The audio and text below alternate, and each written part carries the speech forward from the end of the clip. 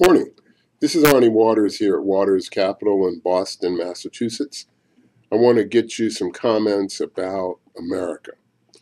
You know, right today, and you know, I'm pretty focused on negative things in terms of stock market strategies and buying gold and silver and stuff like that.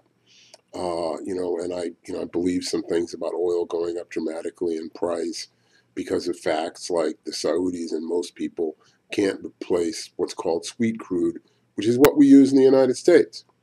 Um, and I'm also concerned about China and you know falling apart, the big lie, all that kind of stuff. Office 666, you know, uh, terrorizing the people down there and preventing any uh, exposure of the deep problems they have within their country of corruption and uh, and totalitarianism. But what I believe is that America is in a great place. We're not in a fun place, but there's no danger of our country falling apart. Uh, there, our country is doing fine. A lot of people are out of work, and you can bet your bottom dollar that the Obama administration is going to make a big job stimulus package over the winter, and they're going to make it again until it passes.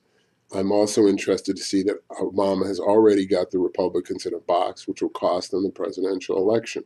They're prepared to reduce entitlement spending for senior citizens who vote regularly and as a way of avoiding increasing taxes on the rich and super rich.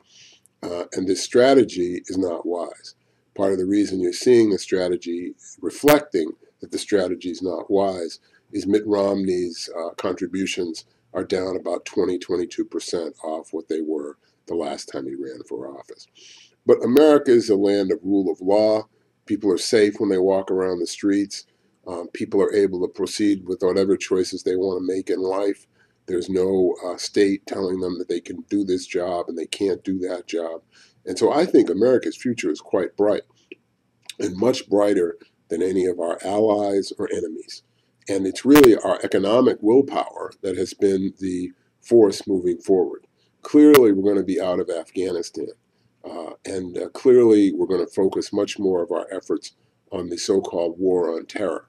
But more importantly, we're going to keep building our opportunities here in the United States.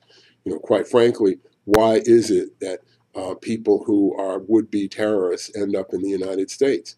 Because they can fart around until laws are uh, observed so they can be busted. In other countries, they just be dragged off to secret prisons and never heard of again. So, America is the land of the free and the home of the brave.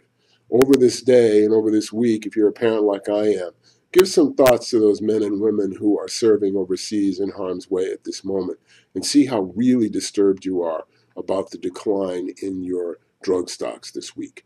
This is Arnie Waters. Aim for the ice floes, not the open water. Have a great weekend.